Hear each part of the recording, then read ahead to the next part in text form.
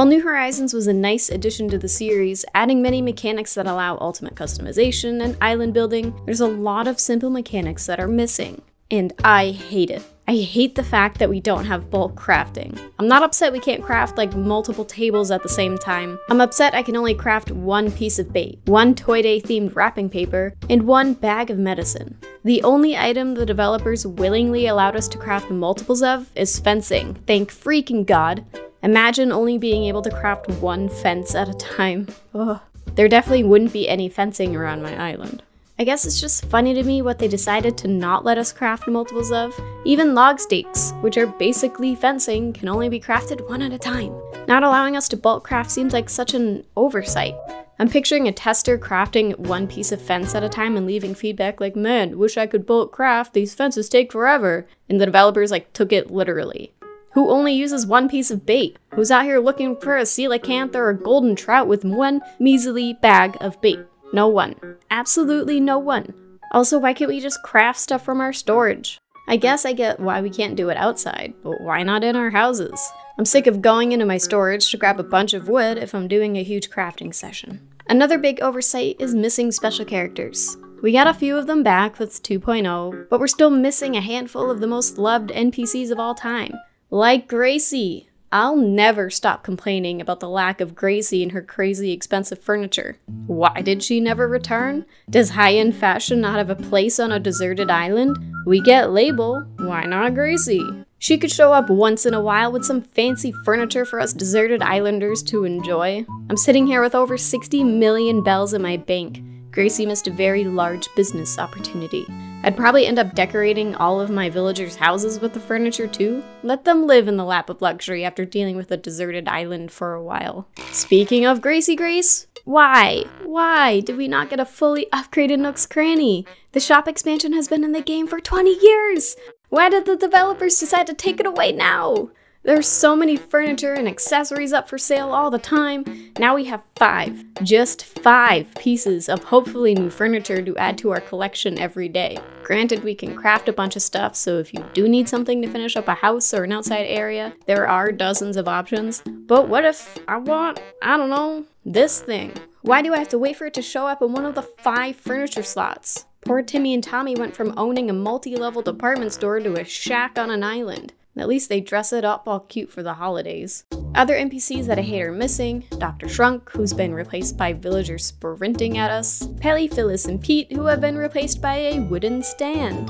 Digby, who I guess doesn't really have a place in this world since there isn't any Street Pass available on the Switch, which I kind of miss for some reason. Rover, who appears once a year to give us his photo again, probably. Blanca, whose face we'll never be able to ruin again. Resetti and Don, who only make an appearance if you happen to get stuck on the island or to grab a cup of coffee.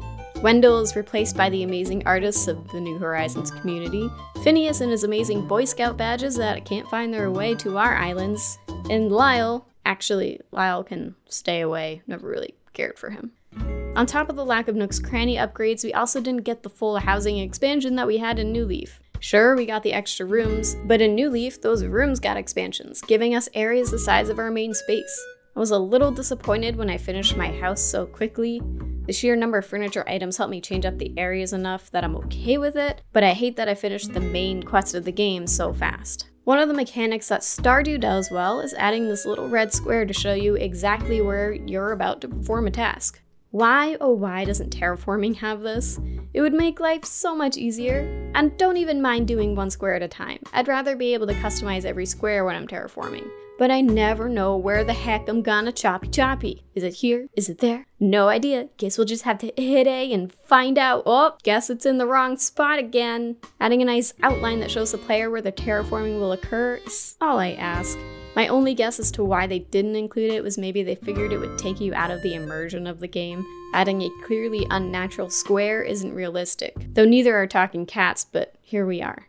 Speaking of talking cats, I've said it before and I'll say it again villager personalities blow. Just bring back the old sassy friends we loved to hate so much. It doesn't even have to be all the personalities, just make the snooty and cranky villagers sassy.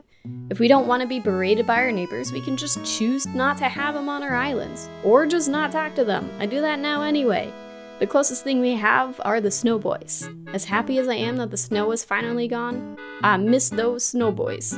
Their sassiness fills the missing hole I have in my heart. The villagers are no longer my source of entertainment, they're just my trophy wives at this point. I hate the lag on heavily decorated islands. I guess this is more of a Switch processing issue than a New Horizons issue, but it doesn't stop me from hating it. Look at the spacing between the fences and everything else. I frickin' hate it. Why does the fence go in the middle of the square of space rather than on the outside edges? Maybe it would cause furniture to clip into the fence if that was the case. Either way, to just. Eh. Where in the Sable are minigames? Why do we have consoles that can somewhat properly connect to the internet and yet we have a severe lack of minigames? No fossil hunting, no balloon shooting, just a fishing and bug catching timer. And coffee. At least we can drink coffee with our friends and complain about the fact that there's almost nothing to do with their friends in the game. Many creative people in the community have taken it upon themselves to host their own events, but I miss going to Tortimer Island and competing with randos, earning medals and getting cool furniture. Still can't believe they brought Brewster back without his minigame. Such a simple mechanic to add and we got nothing.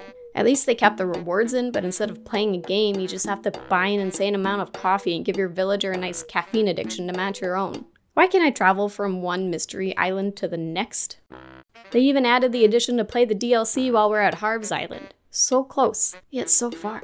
I don't want to have to run back home to Orville every time I want to use a Nook Mile ticket. Does Wilbur not know how to accept a piece of paper? They added in the ability to villager hunt, which I'm forever grateful for, but they just missed the mark. I hate the lack of crossover items. We got the Sanrio and Mario items, which are great, although the only thing I use from the Mario stuff is the warp pipe. But where in the world are Splatoon and Zelda stuff? Why were these never added back? I want Epona back on my island. Hopefully the next installment will fix some of these issues. I would love a game that truly improved upon past games instead of taking away some of the mechanics that we enjoyed so much.